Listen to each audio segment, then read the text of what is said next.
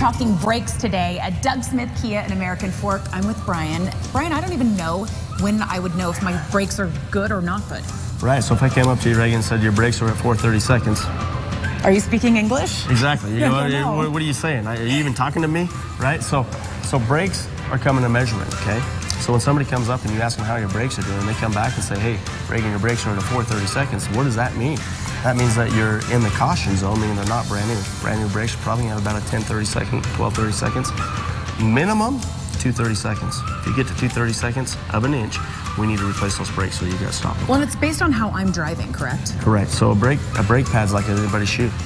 Everybody can wear it completely different. So heavy breakers, constant traffic, stop, go, stop, go, stop, go. You're gonna wear them out faster than if you just jump on the highway and drive to New York without ever touching your brakes. Right. And you've seen people wear brakes out in 4,000 miles before? I have, you know, so average is about 40 to 80. But if you're heavy, I've seen them as early as 4,000 miles. All right, come to Doug Smith Kia and get them checked. Yes. What is this. Bry? This is another Hey Doug car tip.